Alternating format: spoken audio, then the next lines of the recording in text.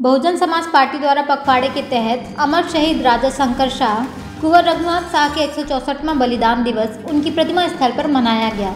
जिसमें मुख्य रूप से उपस्थित हुए बहुजन समाज पार्टी के नेशनल कोऑर्डिनेटर एवं राज्यसभा सांसद राम जी गौतम उपस्थित हुए,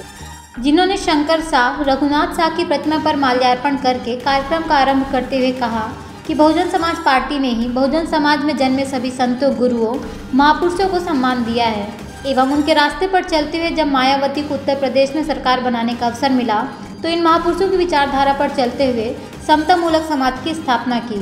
मध्य प्रदेश में बहुजन समाज पार्टी की सरकार बनने के बाद दलितों, आदिवासियों और अन्य पिछड़े वर्गों के साथ सर्व समाज का सम्मान किया। कार्यकर्ताओं ने उपस्थित होकर कार्यक्रम को सफल बनाया।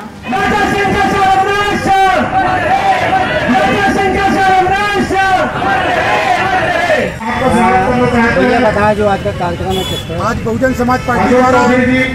शंकर साहब कुंवर रघुनाथ साहब के एक सौ चौसठ बलिदान दिवस के अवसर पर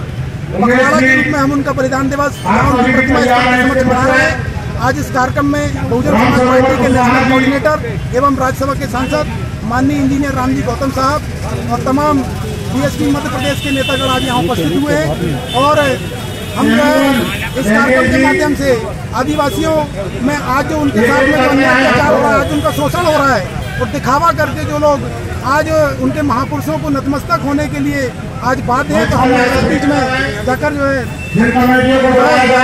काम कर रहे हैं। इसी तारतम्य में जो है कार्यक्रम आयोजित किया गया मैं लखन अहिरवाल को एडवोकेट जिला जी सर आप जबलपुर आए हैं आज कार्यक्रम में? आज हम लोग इधर शंकर शाह रघुनाथ शाह जी के बलिदान दिवस के पखवाड़े के रूप में इधर इकट्ठा हुए हैं। और हम लोग बहुजन समाज पार्टी के कार्यकर्ता उनको मान सम्मान देने के लिए इकट्ठा हुए हैं। इसलिए इधर आज आप लोग देख रहे हैं कि बहुजन समाज पार्टी के जाबाज सिपाहियों में जोश और जुनून है। उससे 2023 की तस्वीर साफ़ हो रही है कि 2023 में बहुजन समाज पार्टी एक बड़ी ताकत के रूप पर आपको 2023 में इधर दिखाई पड़ेगी। उसके लिए बहुजन समाज पार्टी ने पूरी तरफ़ से पूरी टीम ने, पूरे कार्यकर्ताओं ने कमर कस किए हैं। वो इस तरह से गांव-गांव देहात देहात में महापुरुषों की विचारधारा को, महापुरुषों के बलिदान को, महापुरुषों के संघर्षों को, महापुरुषों की जयंती और बलिदान दिवसों को मनाएँगे थैंक यू